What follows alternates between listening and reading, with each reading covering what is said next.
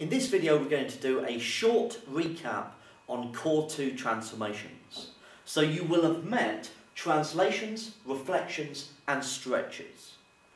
For the first, a translation by the vector AB, if we begin with y is equal to f of x, try that a bit more, there we are, okay, so y is equal to f of x, it's translated by the vector AB, then what happens to it is that we have y is equal to f of the a means that the x is replaced with x minus a, and the b means that y is replaced with y minus b.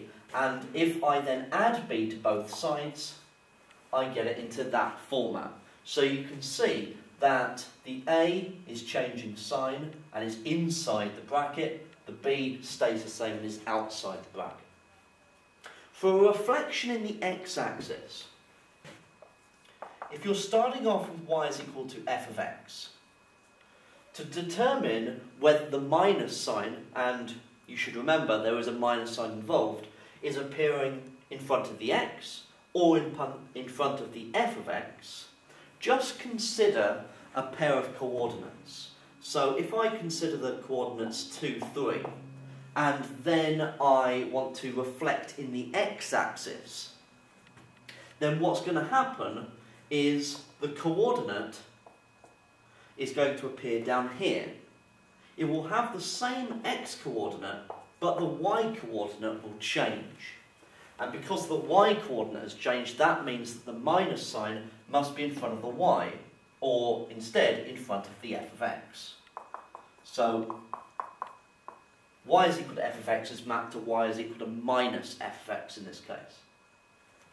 If it's in the y-axis, then using that same coordinate, the coordinate now would now appear over here.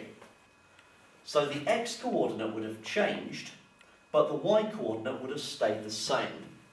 And so, because the x-coordinate has changed sign, the x-coordinate inside the bracket has changed sign. Okay? So y is equal to f of x is to y equals f of minus x. Now if you're stretching, and you can either do it parallel to the x-axis or parallel to the y-axis, it is parallel to the x-axis by factor k, then what happens is that we now have y is equal to f of 1 over kx.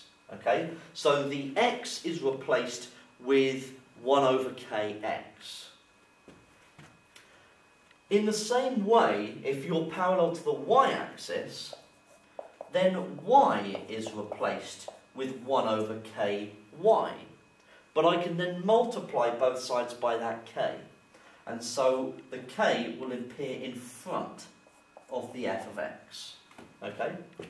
So these transformations are what we really need to know at this stage.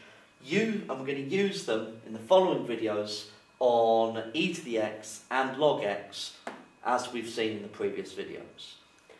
We'll also, uh, later on in the course, be looking at combinations of transformations. And so you need to have these nailed down.